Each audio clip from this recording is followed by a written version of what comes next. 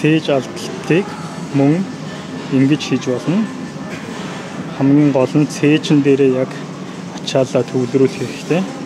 Тэгээ тохоогоо дэгш гараа алдсан